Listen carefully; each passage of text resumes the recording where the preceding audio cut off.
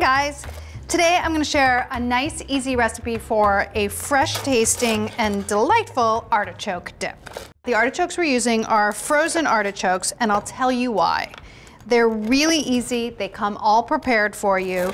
You can certainly substitute fresh artichokes if you want to. You can steam them and prepare them as you like, but I'm just gonna go ahead and use the frozen because they're super convenient. I'm cutting off the crusts of four slices of rustic bread that's about a day old, so it's slightly stale, and cutting it into cubes. You're gonna need about three or four slices. It's gonna get blended in a food processor. Cover it with one cup of water, and then immediately squeeze the water out. You're just trying to lightly moisten this, rehydrate it, but not get it soggy. So don't leave it in there too long. Straight into a food processor. To that add your artichokes. It's nine ounces of frozen artichokes defrosted. Two anchovies. These anchovies are adorable and I see they have capers in them, which I'm totally cool with. So I'm just gonna add them whole with the capers. Just a hint of sugar, about a half a teaspoon. Get the top on and start processing. While the machine is running, add two thirds of a cup of olive oil down the tube. That's it.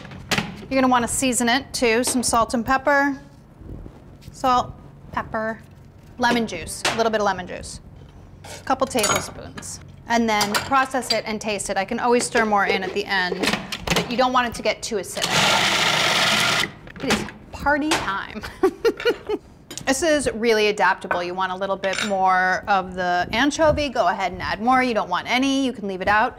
You don't really taste anchovy in here, but you do get a lot of umami or depth of flavor when you use it. It has a really lovely sweetness that you get from the artichoke hearts. How about a little bit of chive? Completely optional, but makes it pretty.